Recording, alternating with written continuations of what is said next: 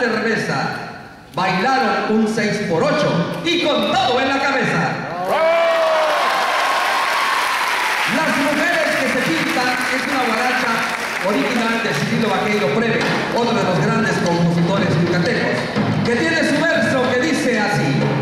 Las mujeres que se pintan tienen, como van a ver, parecido con las casas que se dan en alquiler. Las muchachas que se pintan desde que la escuela van y no entienden de costura ni saben de cocinar, son esas casitas nuevas que nadie quiere ocupar, pues por la parte de adentro no acabaron de techar. Las solteras que se pintan para poder conquistar y pintadas y compuestas todo el santo día están son esas casas bonitas que nadie quiere ocupar por miedo a los alquileres que les van a hacer pagar. Las casadas que se pintan y salen luego a pasear sin pensar que la casada en su casa debe estar.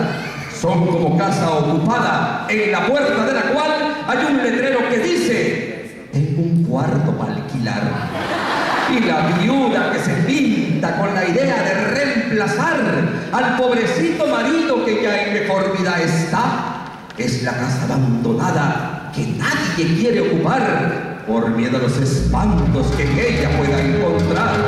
Y las jamonas que se pintan para poder conquistar y en afeites y pinturas gastan todo un capital son esas casas antiguas que nadie quiere ocupar porque llenas de goteras por todos lados están.